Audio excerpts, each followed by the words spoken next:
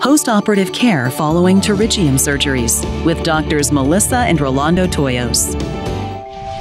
Lotemax SM loteprednol etabonate ophthalmic gel 0.38% is a corticosteroid indicated for the treatment of postoperative inflammation and pain following ocular surgery.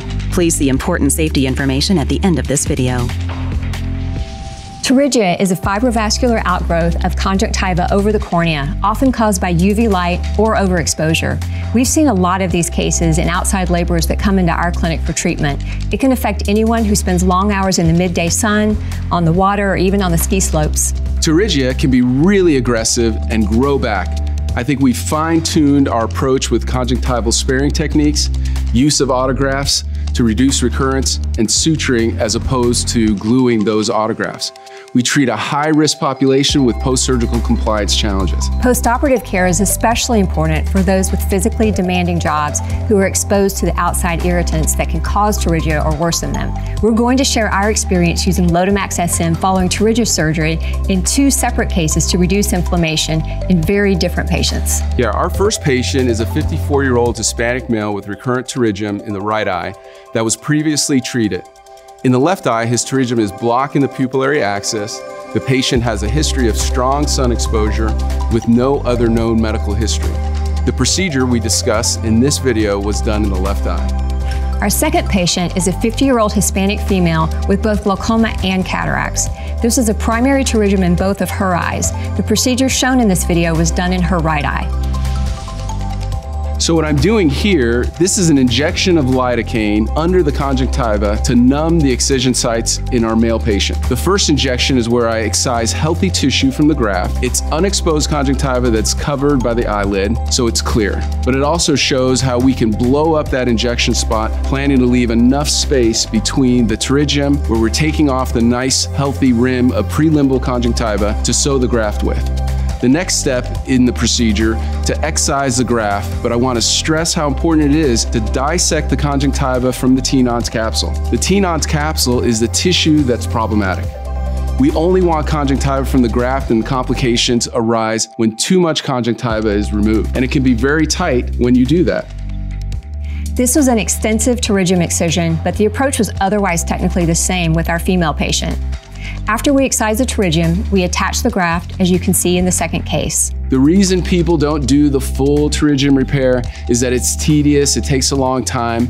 Some people use glue to secure the graft, but I prefer sutures to glue. Even though it takes a long time to put these dissolvable sutures in, I can relax knowing that it's that graft is gonna stay, even if they go back to work. Some patients go back to work immediately, and I feel they're better served by this technique. When both procedures were complete, we prescribed Lotemax SM, which is what we typically prescribe after pterygia excisions. Lotemax SM has a favorable safety profile for its strength. It offers reduced inflammation with low risk of intraocular spikes and gives us the type of anti-inflammatory control that we need even in these tough cases. The no shaking required formulation is also appealing to us because it delivers consistent dosing. Our patients don't have extended time off for recovery. All we can do is ask that they adhere to our care plan once they returned to work. The female patient reported no pain and minimal inflammation postoperatively with no change in vision. She was prescribed Lotemax SM three times daily for two weeks. The patient was very satisfied with the treatment. In the male patient, the eye was watery after the procedure with only mild redness, and he reported no pain. Lotemax SM was prescribed three times daily for him for two weeks. So here we have two different patients, one a primary pterygium and the other a recurrent pterygium, and Lotemax SM worked great for both of them. Lotemax SM is our drug of choice for post-op care for both pterygia and other types of ocular surgeries. In our practice, it's a tool we rely on. For sure.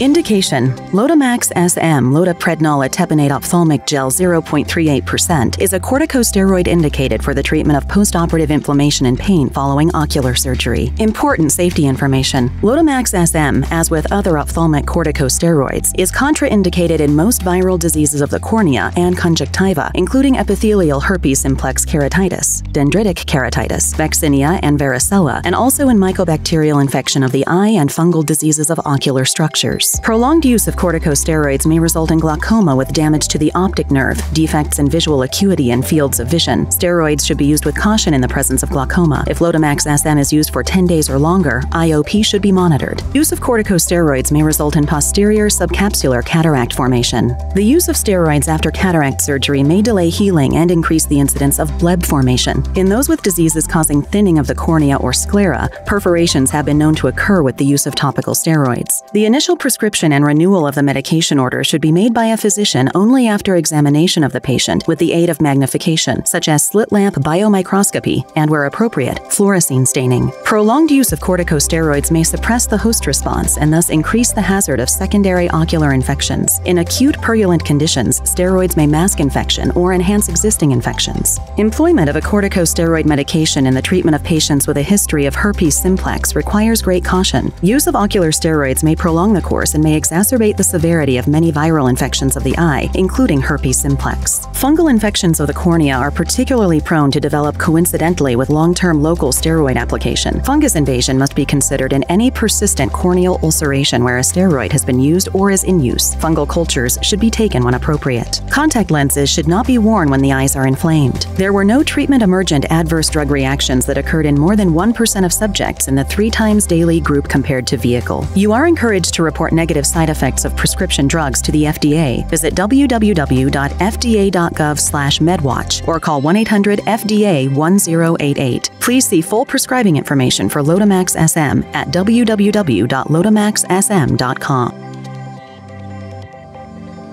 Explore using Lotemax SM in any ocular surgery at www.lotemaxsm.com.